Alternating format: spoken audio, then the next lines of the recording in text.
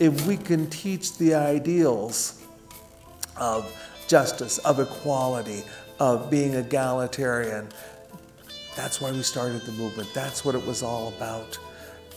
Because again, I'm but a foot soldier in this, representing anyone who has contributed to moving us forward for the good of our patients in the community, not for the good of one individual.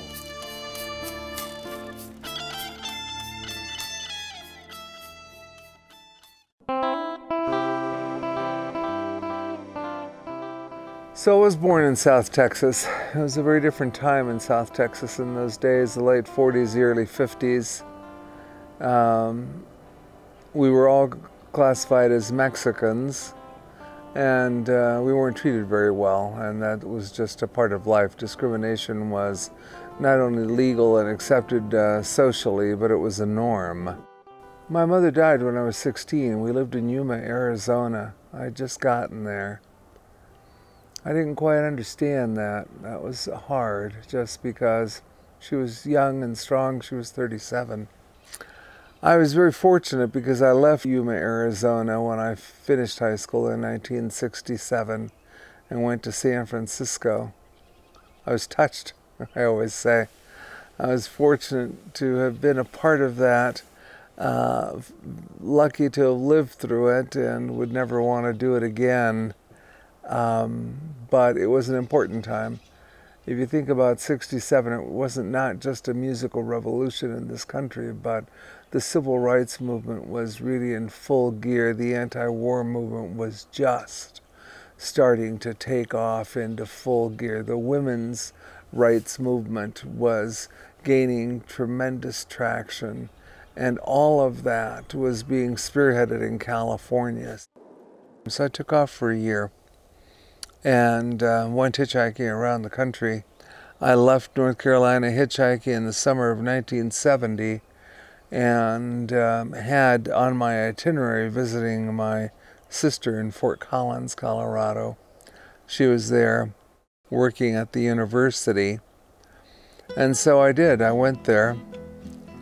And it uh, was a profound profound experience from which I've never recovered because I basically never left.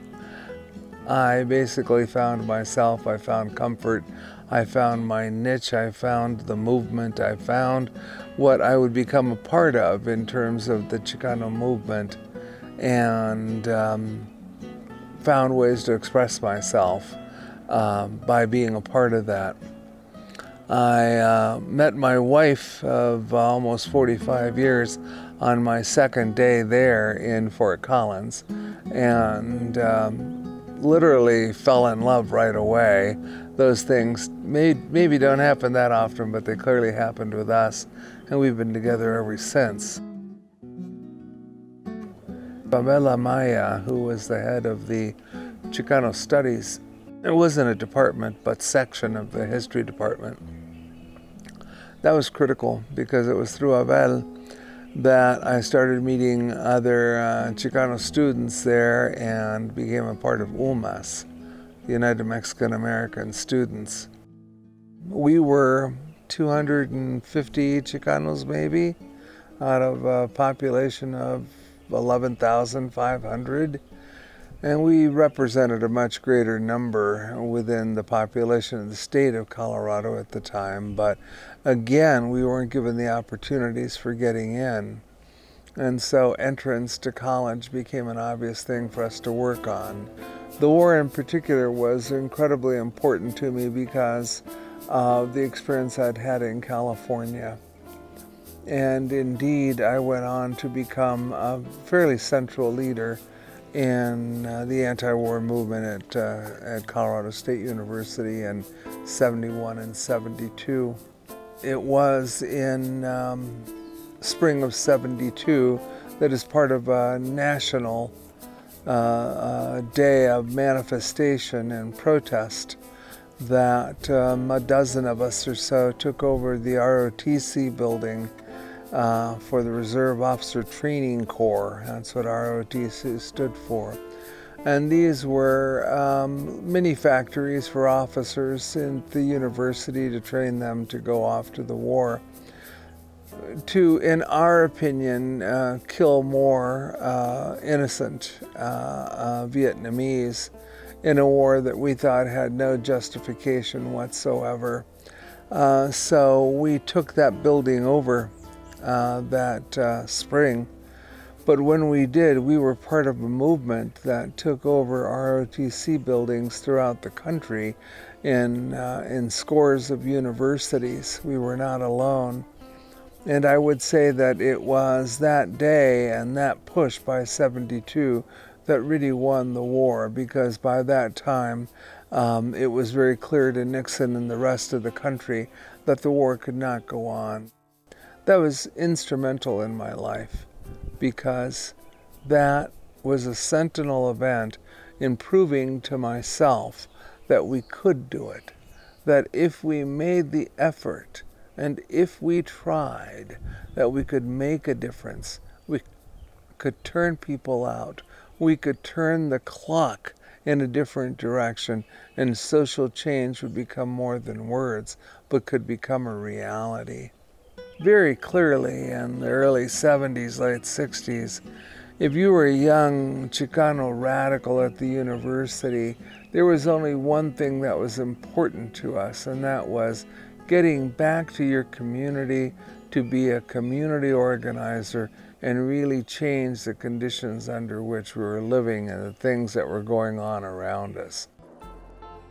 I was offered a job as a community organizer in La Junta in southeastern Colorado at the end of 72. And I jumped at the opportunity. And so one of the first things I did was help to start a co op, a food co op. So, and that was important because it gave some credibility uh, to me and to others that were working on the project in regards to the community and what it was we were trying to do. The next big project that came up that needed to be addressed was that of uh, health services and health care. Now, one needs to understand that this is a really different time in our country's history. This was before a federal law called EMTALA, the Emergency Medical uh, Treatment and Labor Act, which was passed in the mid 80s. So, this is a dozen years before. So in our country, you could still legally be turned away and refuse health services at a hospital if you didn't have money. If you went to the hospital and uh, wanted to get services, you could be refused services if you did not have money, yes. Now that's incredible for most people to appreciate today. It's very hard to understand what that means.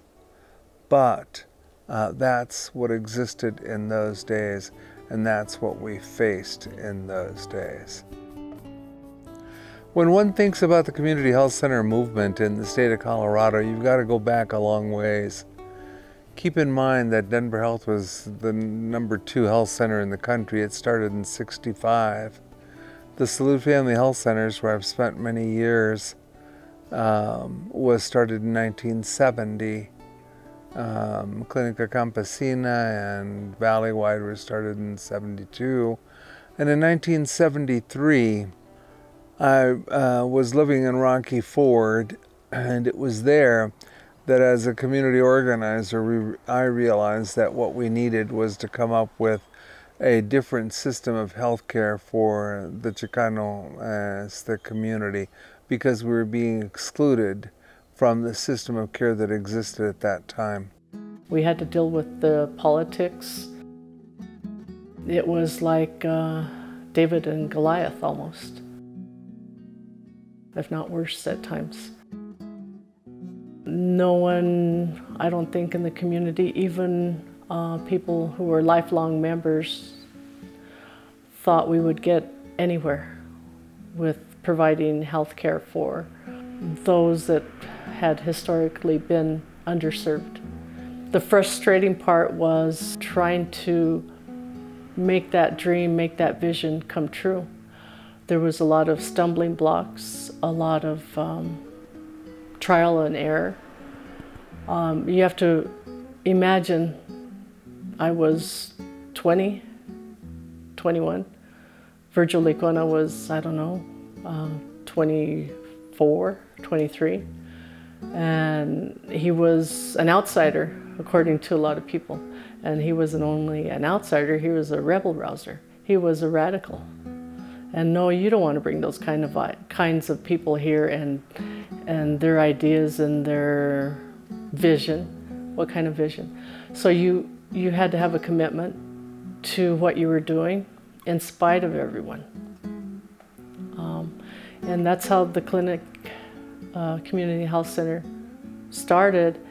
And later it even became even more um, political when the name was changed from Community Health Center to La Clínica del Valle. Well, at, the beginning, it was it was a real uh, downer, negative ideas about it. Uh, they didn't think it was gonna uh, it was gonna amount to anything. They didn't amount. They didn't think it was gonna amount to anything. Uh, me as a board member, I I, I, uh, I, now I look back at it and I'm just uh, thrilled that I was a part of something big that happened. It was just a little little sod of somebody's sod, and here it is. It, it's over the Tri County, and they're uh, writing good articles about him. Uh, it's just amazing. I just uh, and and it's the people that started it. There were a lot of people involved in getting this started. Not one, two, or three, but a lot of folks from the community that would later form part of the uh, community board uh, and individuals that were interested in doing the right thing. I was one of those folks. Um, and I was the one that did not take a step back. Uh, the um, community asked me to be the first director of the clinic. Now, this is before we had a clinic, okay, but to take that idea and to run with it. And a grant was put together.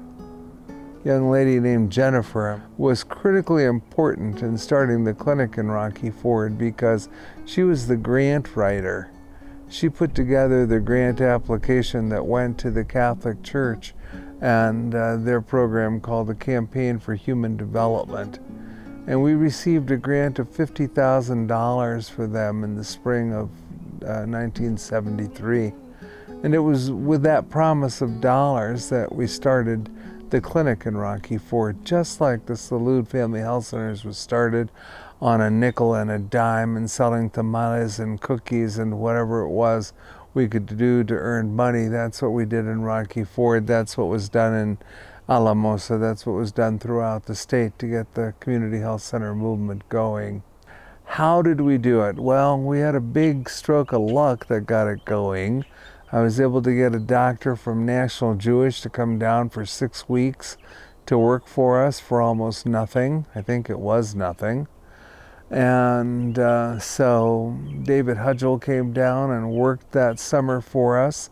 That allowed us to get started. The Catholic Church uh, leased us a three bedroom, two story house in Rocky Ford for a dollar a year.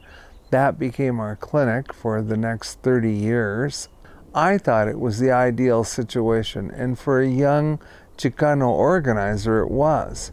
You go back to the community, the community loves you. It's lots of work, it's not very much pay, but did I tell you the community loves you and you get stroked all the time? So, those are the things that we are offering, but young doctors were not all that interested in those things then. Um, there were some still burning on fumes from the 60s, though, wanting to change things. And Tom Flower, the first doc that I recruited long term there, was one of those, I think. So he came, and uh, once he got there, I knew that I had to go back to school and I had to become a clinician. Now, that's easy to say. Uh, keep in mind, I thought I was going to be teaching Chicano history at this point in my life, so I did not study science. I didn't like science. Um, I could do math. I was good at math, but it wasn't stuff that I had studied. I was a soft social scientist, you know, enveloped in history and the medieval period and, you know, southwestern history of this country, Mexican history, those things. But I did so not because I wanted to be a doctor, not because I had this great idea of healing people and saving lives. I did it because the movement needed another clinician. And although it may be difficult for someone to understand me today when I say that, I sit before you in all honesty and say, that is what motivated me. That is what turned me on. That is what got me to do everything that I've done since. The very fact that I, as a product of the Chicano movement, needed to go back to school to learn a new skill set because the movement needed me to do so seemed by that time in my life only logical.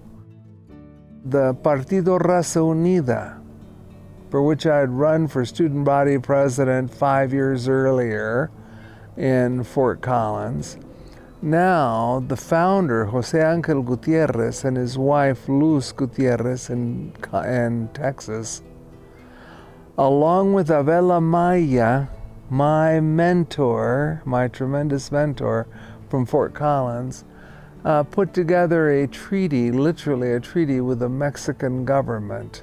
The Becas para Aztlán was a scholarship program started by the Raza Unida Party, and the purpose of the program was to be able to send uh, Chicanos, Mexican Americans that were born and raised in the United States, to be able to learn more about Mexico and to be able to go study uh, postgraduate uh, and to obtain postgraduate degrees because those opportunities were not open to them here in the United States. This is now um, 78, the first year of the program, and so I went to Mexico City in the summer of 78 as part of that program um, with the idea of studying medicine in Mexico and coming back to serve the Chicano community when I was done.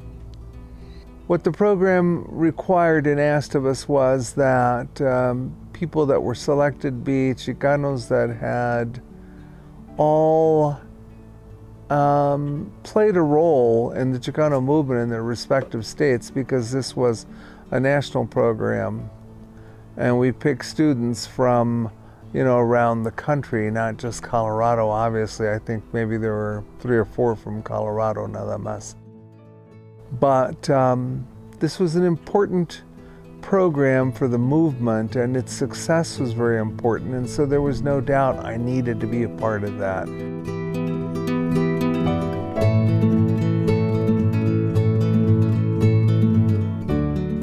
So it was in 1991, we were in Pueblo, and the opportunity to come to Salud um, lent itself. And I thought about it, and I really thought it was a really good idea just because being a product of the movement and being engaged in social change, what has always been important to me has been the idea of increasing my sphere of influence.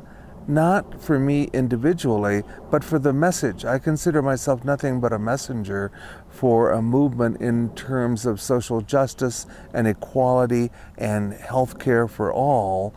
And that's been my expression as a product of the movement in terms of what I've done.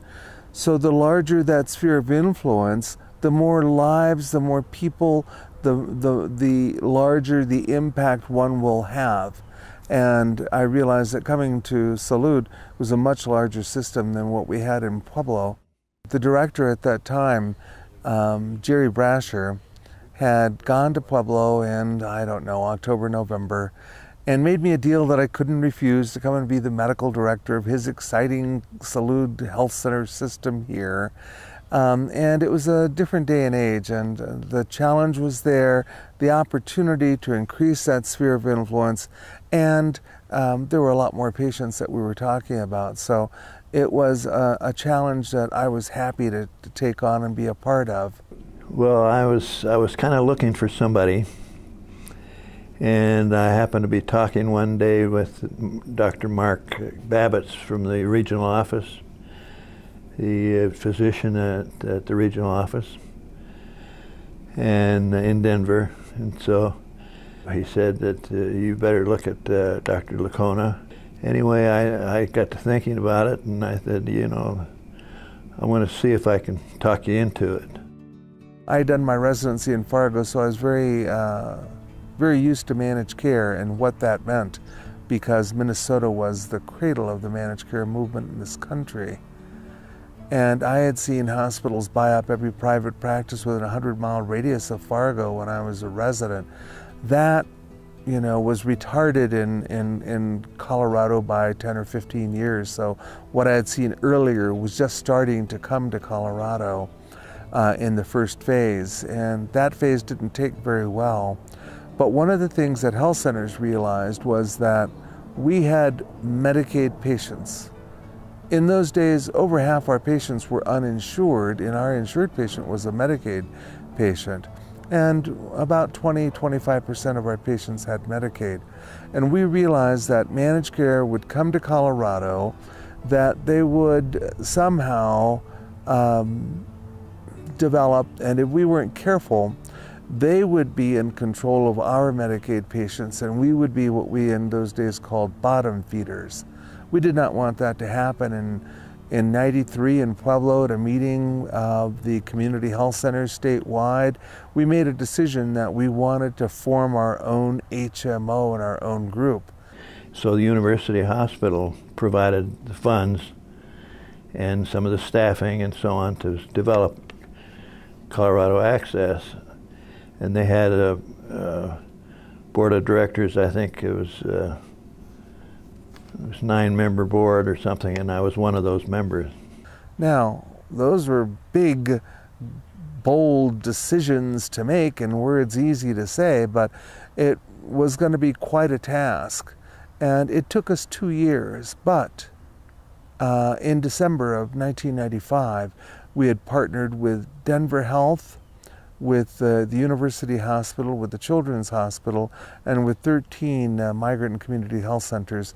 And we formed our own Medicaid HMO called Colorado Access. We had hired someone to be the medical director in November of 95, and we went live. We um, started uh, taking patients in December. Um, he called um, two weeks into the job from an airport in Chicago and resigned. It was a lot more work than he had envisioned. We weren't sure what was going to happen because we had gone live and we didn't have a medical director. Um, I made the move at that time to become the medical director of Colorado Access, understanding that I would have to take a leave of absence from Salud in order to do that, but also understanding that we needed strong leadership in that position, and we had no time to be looking for someone else and try and get them trained to do the job. All of this, why? Because I'm a product of the movement. I'm a product of the Chicano movement of the late 60s and early 70s, and I've been able to focus my efforts within the healthcare arena to push forth those ideals that we had uh, of the Chicano movement of improving the living status of our population, our communities, uh, and fighting for justice, fighting for equality, fighting for those things that we think each one of us deserves just because we're human beings and we breathe air, we're on this planet, and we're in this together. I'm proud to say that um, uh, I can hold my head high because that's what's driven me, that's what's motivated me, and that is what has um, guided my thinking throughout my adult professional life. It's not something that I held on to as a young radical hothead and let go of when I got uncomfortable with it or got a certain level of education. I've never parted with my ideals and I've never parted with the need for me to look at myself as a public servant, someone here to care for my community because I said early on in my life that that's what I was going to do. If we can teach the ideals of justice, of equality, of being egalitarian, that's why we started the movement. That's what it was all about. And we must continue that, whether it is I or now in this particular case, I handing off the torch to that next generation or generations, uh, and realizing that if each of us makes his or her contribution, we will be successful. We'll be successful as a people, we'll be successful as an individual, we'll be successful as a movement. I remember when I was at Valdez Elementary and I was running a school based clinic for Denver Health there. And within three months of being there, a, a, principal came into the clinic and she says, You know what? She said, I just left a third grade classroom and um, all the girls, most of the girls in the classroom said they wanted to be a pediatrician. She said, Before you came along, um, most of them would talk about being a secretary or uh, a teacher. Hopefully, you know, Dr. Licona and my story and other people's stories will, will be able to help recruit young people into a health profession because it's been a really, really great experience. I am almost done with my pre medicine program.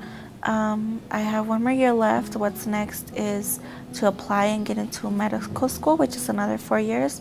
And depending on what I specialize, it'll be a few years after that. Um, so if anyone were to come up to me and say, What do I expect? When I want to go into the medical field, I want to go into the healthcare, you know, what do I need to know? Tell me. And I mean, I'm going to tell them what no one told me, you know, it's which is you're gonna have to work hard, harder than you have ever worked before. You're gonna struggle so much and you're gonna go through a bunch of challenges that you think that it's gonna be the end of it. And no, I mean it's not. There's gonna be times where you're gonna be discriminated against for not completely knowing English all the way, I guess you could say, or just because of the language barriers, you know, or because you're um, a Latina or Latino, Mexican American, or whatever, and they're going to look at you like they did me. Like I've had more than I could count experiences where, oh, you're going to be a, oh, you're wanting to be a doctor. Why? Like, are you sure that's where you want to go? Or, you know, there's not a lot of women that's there, right? You know, there's not a lot of Hispanics or Latinos or Mexicans that go into that field where they doubt me. They doubt what I can do. And those are gonna those are kind of big punches in the face, I guess, or into your pride and determination. But you just gotta get take them as they come, and it's gonna be difficult. But you have to stay persistent, determined, you know, and be committed to what you're going to do.